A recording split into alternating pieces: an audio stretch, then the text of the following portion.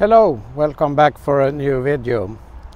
Uh, it's been a while, I've been having this car now for about six months, so I gathered uh, quite some experience and today I will speak about one very annoying thing that actually makes me think of selling the car and that is the seat comfort at the M Sport seats.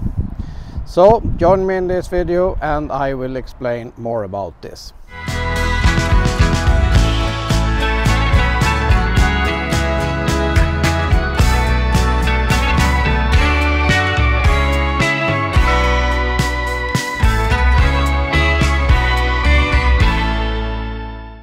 So, as I say, uh, I have several problems with the seat comfort.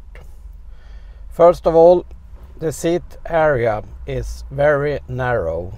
Uh, I am not a very big guy. I am 178 centimeters long and the weight of 85 kilo.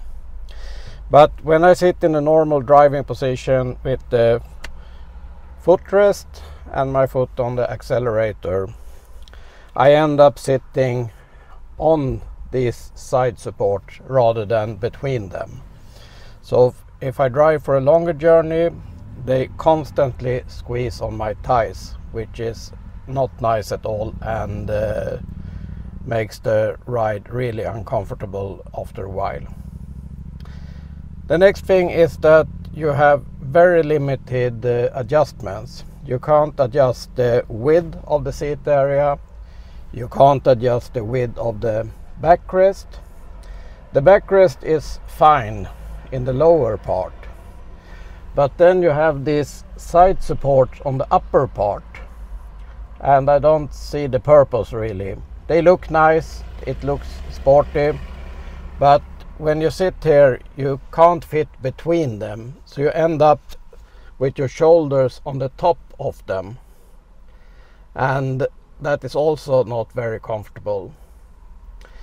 Also, I had constantly problem with the lumbar support. I have the active seats with massage and um, whenever I take the car uh, it inflates it's more than the position I left the car with. So every time I start the car I have to deflate them a little bit to adjust them and it's been on the workshop several times for this but with no real solution. So my solution for this is that I have to store the position in the seat memory but I have to store a position which is less than I want to have. And then every time I get into the car I have to set recall the memory uh, I don't know why, I don't know if it's only the active seats that have this problem, but still I have it. But my main concern are the headrests.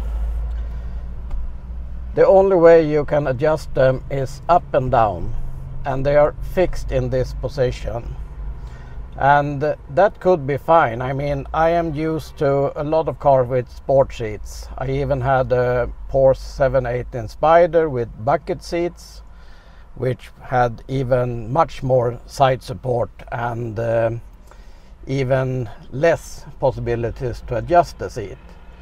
There the comfort was far more better than in this car.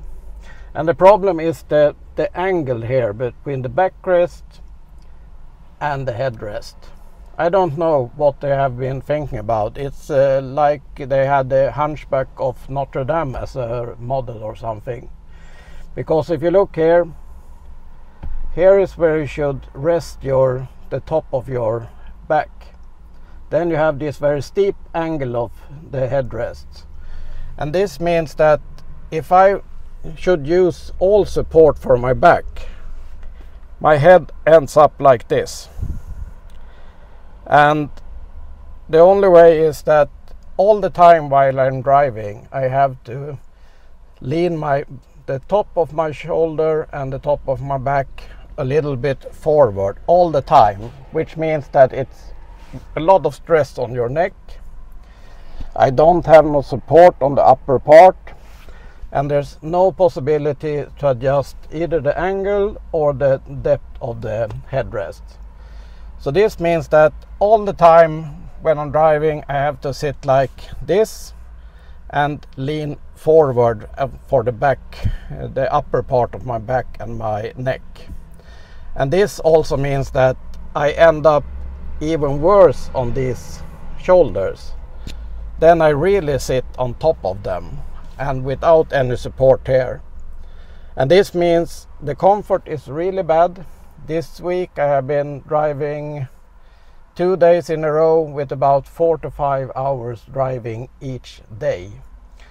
Uh, and after that, the next morning, I have a real bad pain in both my shoulder, my neck, and the upper part of my back. And uh, also, this means that you don't have that much support because this is more or less useless.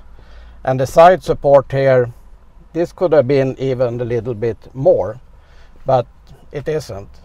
So for me, it's um, it's a real big comfort problem. So uh, my advice is if you're thinking of buying an iX1 or an X1 with sport seats, make sure you try them out before and not only a short drive around the neighborhood. Take them for a longer drive, half an hour or something, because the first time I get into the car I thought, okay, this is nice, not a big problem but you realize when you drive for some time that it's not a very well designed seats. Actually, it's the worst seats I've had in any car. So, unfortunately, uh, as I spend quite a lot of time in my car, uh, I can't live with this. seats. I have constantly problems with my back, my neck, and my shoulder after longer driving. And the obvious problem is that if you want the M Sport version with the M Sport exterior, then you have no options at all. You have to go for this seat. Uh, you can choose leather, different fabric, but you can't choose a more comfort oriented seat, which is really sad, I think. So I think this is uh, both disappointing and uh, a bit sad because I've had a lot of other BMWs. I also own a 440i and in all my other BMWs the seats have been excellent with really good both support and comfort. But uh, this means that uh, this car with these seats it's not just for me. Uh, maybe they will fit your need better, but make sure you try them out. Good luck and I wish you all a safe driving.